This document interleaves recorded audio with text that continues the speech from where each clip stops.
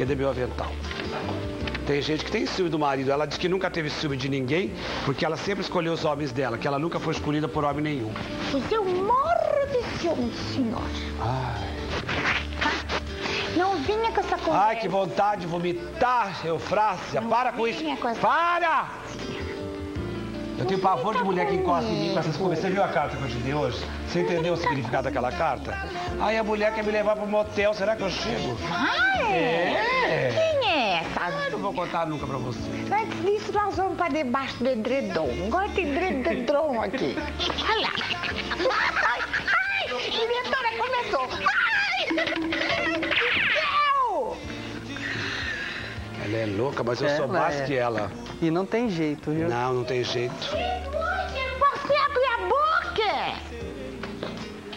Com licença. Assim comigo, hein, diretora? Eu não tô ruim, é que você enche o saco na hora que não precisa. Eu tô fazendo comida, não tô fazendo arranjo. Eu vou me revoltar aqui no saco. Ah, revolte-se à vontade. Eu vou. Olha aqui, dona Hebe, eu tô cansada de pedir socorro pra senhora, sabe? Eu tô cansada. Vai pra lá! Arma aqui, hein? Tá Que faz um o seguinte, meu bem, muda de musa. Eu já vou mudar mesmo. Olha É. aqui, ó. Agora, dona Marta Suplicy. Socorro, por favor. Essa frase é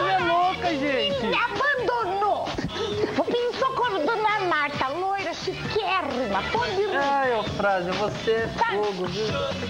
Ai, meu Deus, o pior é que eu não posso nem pedir pra outra levar embora. Agora ela, se- ela se Vou safou. botar na geladeira. viu? Vai lá, põe lá dentro, põe na Vou geladeira. pôr bem na geladeira. Quer pôr no freezer? Põe no freezer, põe tá no freezer, é vazio. melhor. É, põe no freezer. Cai bem bonitinha, viu?